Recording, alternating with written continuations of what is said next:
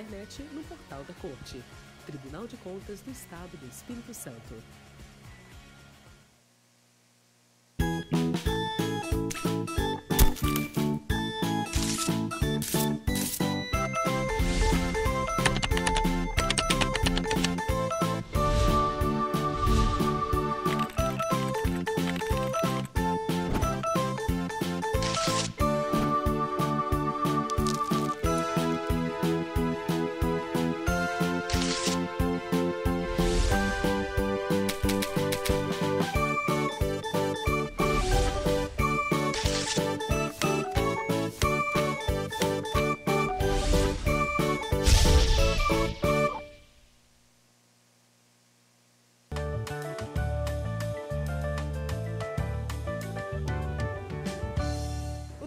Contas do Estado do Espírito Santo tem a missão de gerar benefícios para a sociedade por meio do controle externo e do aperfeiçoamento da gestão dos recursos públicos.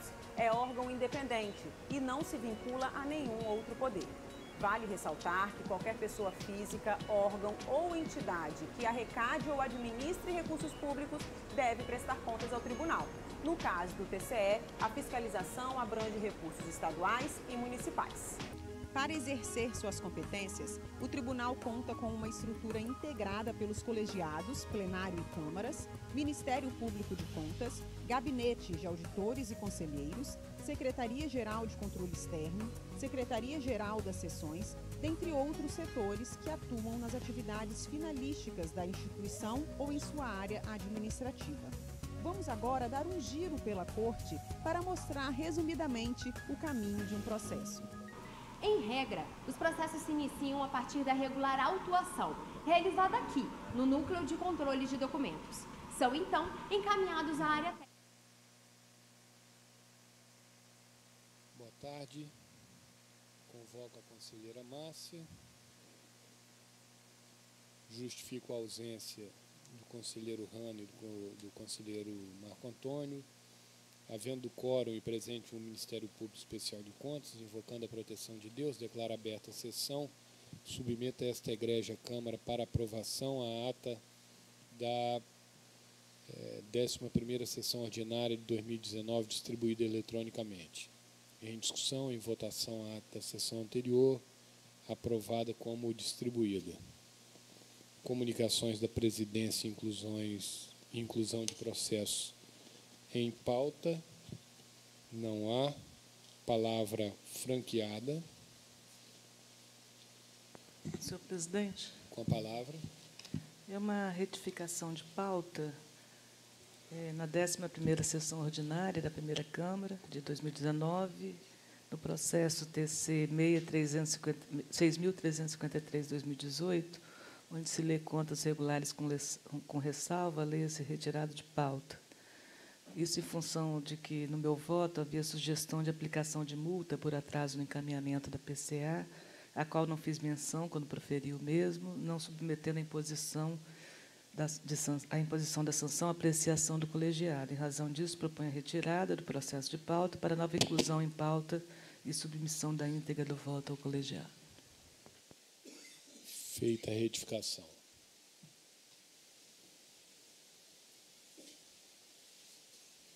Devolução dos processos com pedido de vista, da pauta do conselheiro Ciliotti, processo 4552-2018, primeira sessão, Ministério Público. Deseja a prorrogação? Sim, excelência, prorrogação. Prorrogado. Adiados os demais, que são da pauta do conselheiro Aliás, eu estou devolvendo todos os quatro do, da pauta do conselheiro Marco Antônio. Não há medidas cautelares a serem apreciadas, julgamento de processo em pauta. Eu vou fazer um pedido de preferência. Pela que, ordem, presidente. Só. Pela ordem. Obrigado. É, quanto à questão da devolução de processo, nós temos três processos que nós também estamos devolvendo é, de relatoria do conselheiro Marco Antônio, com ele não esteja, mas já estão concluídos e estão sendo devolvidos hoje. Devolvidos, então. É. Caso... Desculpa, doutora, eu acabei me atrapalhando aqui. Há três processos realmente que estavam em segunda sessão com Vossa Excelência, todos três devolvidos. Muito obrigado, Obrigado. pela correção. É, o processo de minha pauta, aliás, é o primeiro. É, não há nem necessidade de preferência, porque há é, o representante do Estado, da Procuradoria-Geral do Estado, e eu vou ao voto. Havia a, a dúvida se necessitaria ou não da sustentação oral, porque estamos ainda em fase preliminar. Eu, eu acredito que não há necessidade da sustentação oral agora, é, resguardando-a para após a decisão do STF. Então, trata-se de representação encaminhada pelo Ministério Público do Estado do Espírito Santo, em face do Instituto de Defesa Agropecuária e Florestal do Estado, alegando a existência de servidores ocupando cargos de nível superior sem prévia aprovação em concurso público. Eu estou acompanhando o entendimento técnico e o parecer ministerial, cuja emenda é a seguinte: controle externo, fiscalização, representação, IDAF, sobrestamento do processo até decisão final do Supremo Tribunal Federal quanto aos embargos declaratórios na ADI 3221, referente à Lei Complementar Estadual 187, de 11 de setembro de 2000. Passo à segunda decisão. 3277 de 2018, processo de prestação de contas anual da Prefeitura Municipal de Mimoso do Sul, referente ao exercício 2017. Eu estou acompanhando. É, na verdade, aqui eu ainda estou aguardando a juntada das notas taquigráficas. Então, mantenho adiado o processo. O 3280 estou adiando. O 3746, adiando a pedido da parte.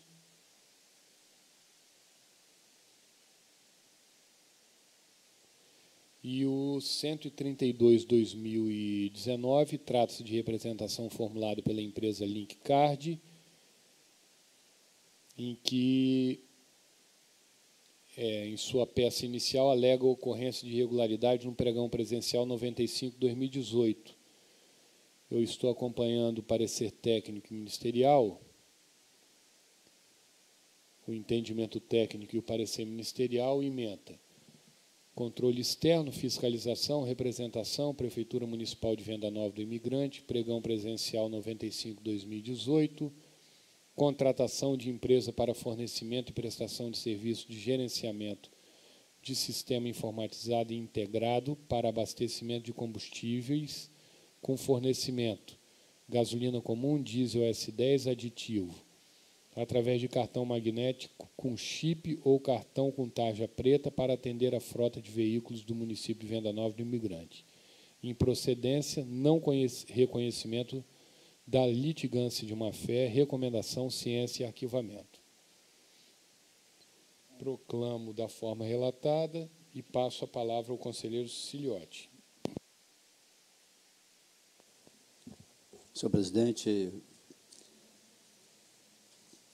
processo 07288 já tem voto proferido pelo conselheiro Marco Antônio, continua adiado. Voto, é, processo 5050, 2016, 7483, 2016, 9637, 2016, 5991, 2018, 6011, 2018 e 72 32, 2018 estão sobrestados.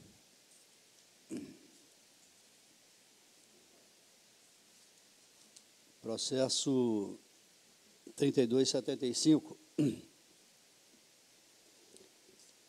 processo trata-se da prestação de conta anual da Prefeitura Municipal de Marechal Floriano, referente ao exercício 2017, sob a responsabilidade do senhor João Carlos Lorenzoni, área técnica, através do relatório 162-2018 e da ITI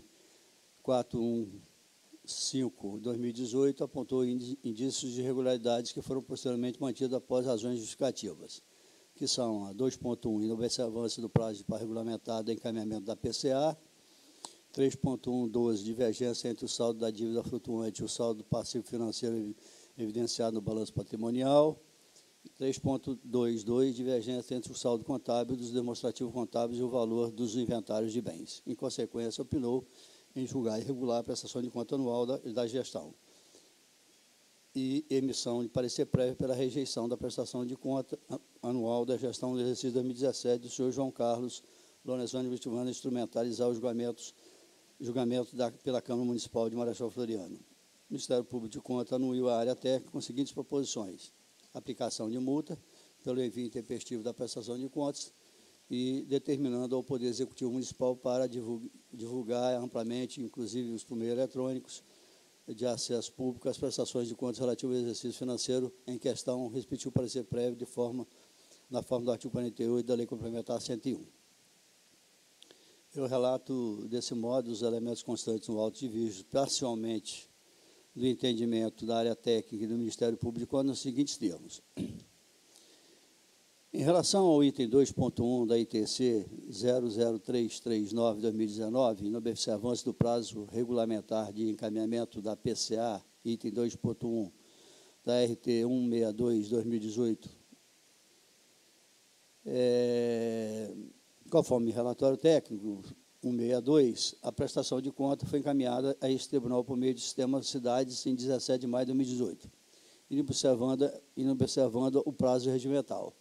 A defesa justifica que o atraso ocorra devido a problema entre a movimentação de bens patrimoniais e o sistema contábil, provocando dificuldade no envio da prestação de conta do sexto bimestre de 2016, gerando um atraso sistêmico das prestações de conta e, consequentemente, vários procedimentos foram finalizados somente no início do exercício de 2018, o que provocou atraso no fechamento das contas anuais do exercício de 2017, consequentemente, envio intempestivo do, ao TSE.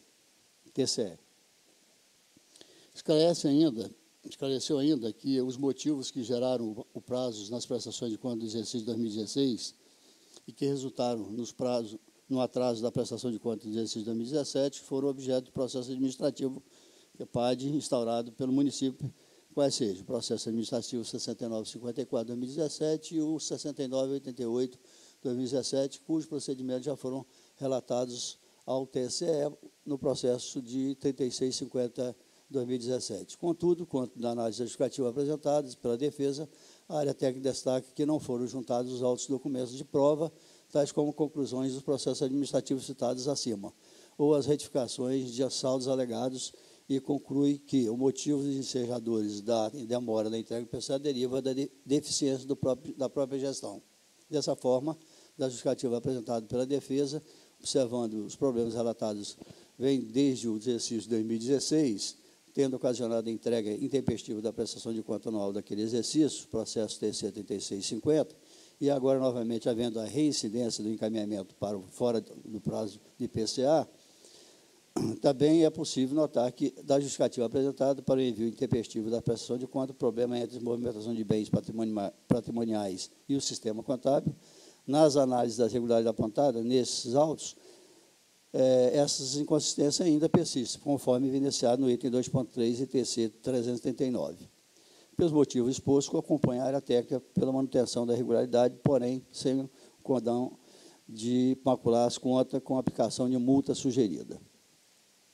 Segundo ponto, é, em relação ao 2.2 da ITC 339, Divergência entre o saldo da dívida flutuante e o saldo da passivo financeira evidenciado no balanço patrimonial, item 3.112 do RT 162, 2018.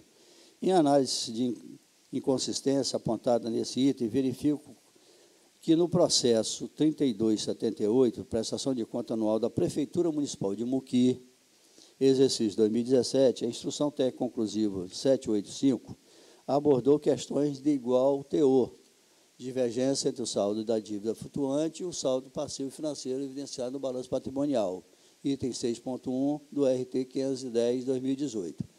Tendo a área técnica sugerido na, na, até, na, na, então, no então processo a manutenção das irregularidades e recomendações para atendimento integral da IN 43 e seus anexos no envio dos, das próximas prestações de contas como proposição final, opinou pela aprovação com ressalva da prestação de conta anual. O parecer ministerial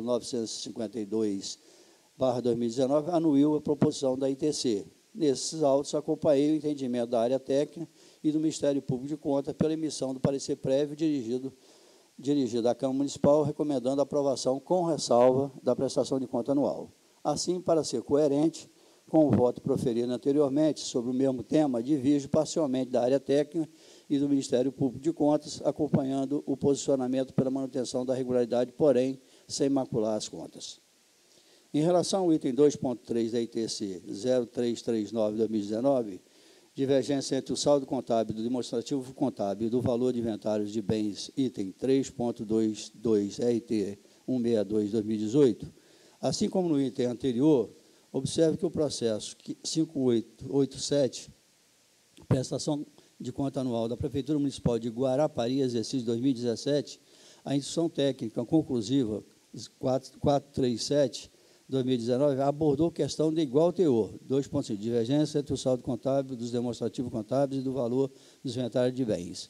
Item 3.2 do RT 245, tendo sugerido que a irregularidade fosse considerada passível de ressalva em vista dos prazos de adequada precisão na IN TC 36, determinando-se que o responsável indique na próxima prestação de contas anual, por meio de notas explicativas, medidas saneadoras adotadas para evidenciar os bens imóveis ainda pendentes do levantamento e registro adequado, inclusive de apreciação acumulada, depreciação acumulada.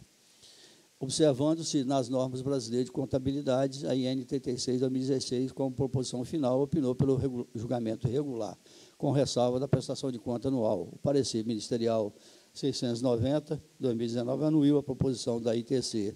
Nesses autos, acompanhei o entendimento da área técnica e do Ministério Público de Conta pela regularidade, com ressalva da prestação de conta anual. Dessa forma, no mesmo sentido do item anterior, divijo parcialmente da área técnica e do Ministério Público de Conta, acompanhando o posicionamento pela manutenção da regularidade, porém, sem macular as contas. Quanto ao parecer ministerial 698 de 2019 considerou que o colegiado dessa Corte de Conta consolidou, consolidou o entendimento de que será emitido parecer prévio aos processos de prestação de conta anual atos de gestão somente em casos de contas irregulares. Acompanhe parcialmente a proposição constante no item 3 do parecer do Ministério Público de Contas de ter determinação para Poder Executivo Municipal divulgue amplamente, inclusive, em meios eletrônicos de acesso público à prestação de contas relativa ao exercício financeiro em questão. Sendo assim, voto no seguinte sentido julgar regular com ressalva a prestação de conta da Prefeitura Municipal de Marechal Floriano, sob a responsabilidade do senhor João Carlos Lorenzoni, relativo ao exercício de 2017, nos termos do artigo 84, inciso 2 da Lei Complementar 621, e razão de, em razão da manutenção dos seguintes irregularidades, porém, sem o, o condão de macular as contas são inobservância da, do prazo regulamentar encaminhado da PCA, item 2.TC 339, 2019, divergência entre o saldo da dívida flutuante e saldo passivo financeiro evidenciando balanço patrimonial, item 2.2 da ITC 379, 2019, divergência entre o saldo contábil dos demonstrativos contábeis e o valor dos inventários de bens, item 2.3 da ITC 339, 2. Aplicar multa, sanção de multa ao senhor João Carlos Lorenzoni no valor de um mil reais em razão do descumprimento do prazo envio da prestação de contas. Deixar de emitir de parecer prévio pela aprovação com ressalva da prestação de contas anual em apreço, em razão da consideração do entendimento dessa Corte de Contas que o parecer prévio será emitido nos processos de prestação de conta anual, atos de gestão, somente em casos de contas irregulares. Determinar o gestor responsável a quem vier substituí-lo. A o atendimento integral, item 43 e seus anexos, envio próximo prestações de contas, no envio, no envio do, das próximas prestações de contas, item 2.2 ITC 339, B, indique nas próximas prestações de conta anual, por meio de notas explicativas, medidas saneadoras adotadas para evidenciar os bens móveis e imóveis ainda pendentes de levantamento.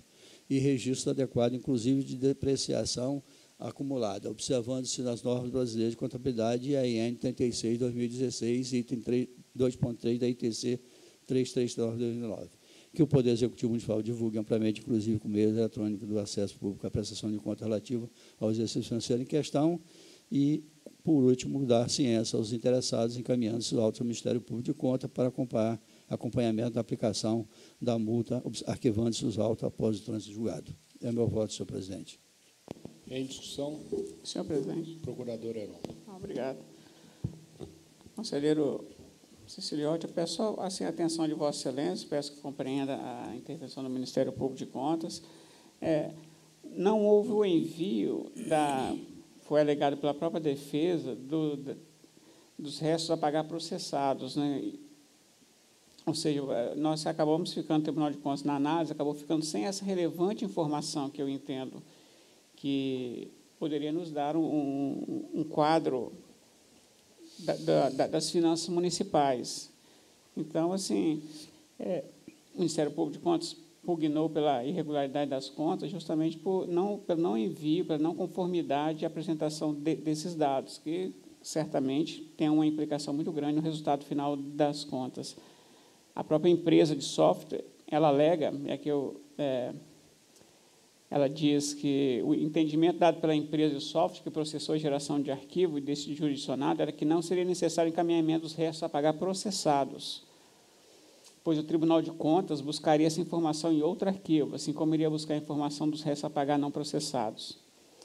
É, alegou uma diferença conceitual em que de contabilização aqui, mas afinal assim dizendo que não foram encaminhadas as contas de resta a pagar processado e o serviço da dívida, pois elas não se encontravam neste universo de contas. Então, assim, a omissão desse dado é bastante relevante na análise das contas. Né?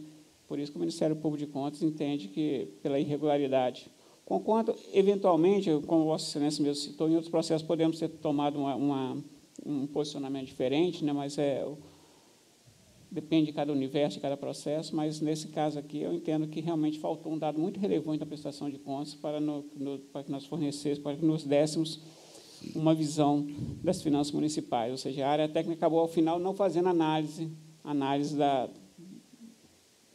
desse, desse demonstrativo pelo não envio. Então, o que ocorreu foi isso aqui, o Ministério Público de Contas é, anuiu ao corpo técnico por conta de, dessa, dessa situação. Obrigado. Devolvo a palavra, presidente.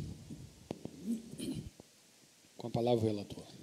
Agradeço a participação do, do paquete do Ministério Público de Conta e eu vou manter a, a minha, o meu voto no, nos apontamentos que foram colocados pela ITC com relação às duas divergências apontadas, três divergências apontadas, aliás. Em discussão, com o voto, conselheira Márcia. Com o relator. Acompanho também. Prossiga, excelência.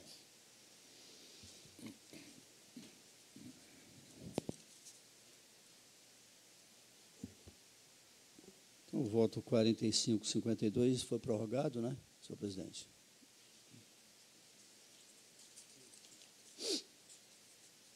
Então, passo a, a relatar o processo número 74, 74, Unidade Gestora Prefeitura Municipal de Muqui.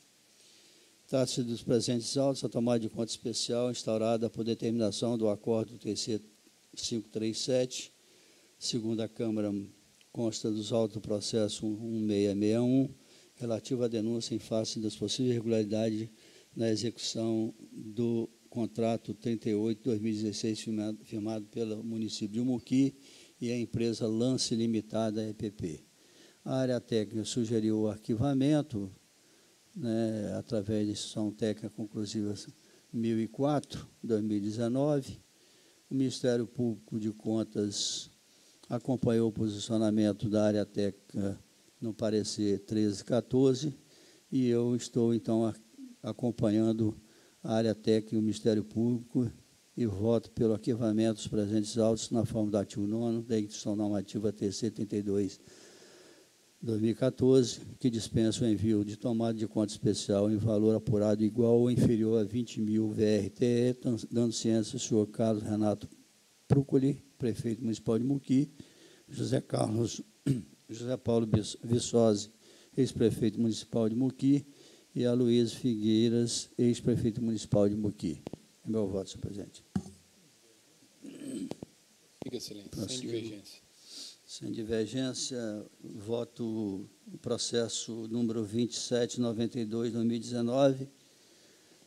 É, processo trata dos autos omissão no encaminhamento do relatório resumido da execução orçamentária, orçamentária o RRO, da RLF Web, referente ao sexto bimestre de 2018 da Prefeitura Municipal de Iguaçuí, sob a responsabilidade da senhora Vera Lúcia Costa, contrariando os dispositivos da instituição normativa INTC 44-2018.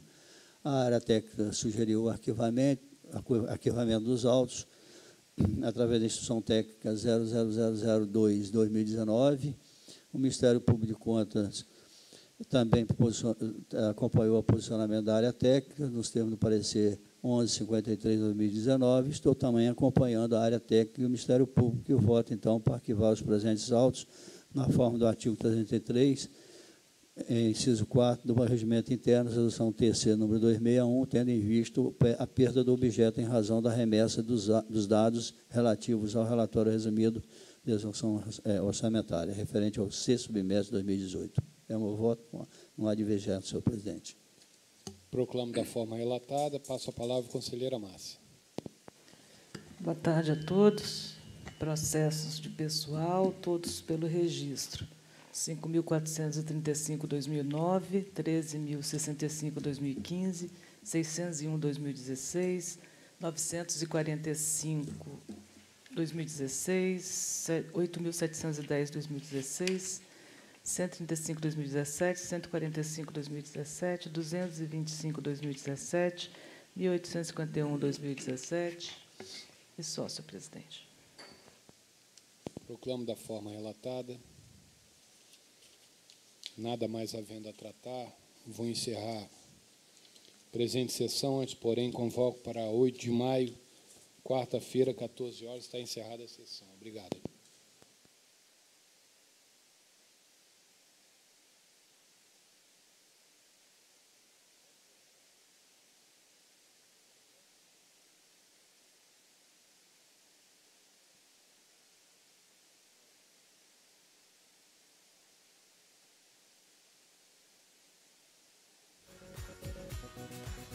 Tribunal de Contas do Estado disponibilizou aos cidadãos e jurisdicionados o protocolo via internet, ferramenta que integra o sistema de acesso identificado. O serviço permitirá a apresentação de petições, representações e outras peças sem a necessidade de deslocamento à corte. Além de proporcionar maior comodidade, permitirá a redução de custos, em especial aos jurisdicionados do interior, responsáveis pela abertura de mais de 50 mil protocolos no tribunal nos últimos dois anos. A ferramenta é intuitiva e foi construída em plataforma amigável, mas em caso de dúvidas, consulte o tutorial do protocolo via internet no portal da Corte.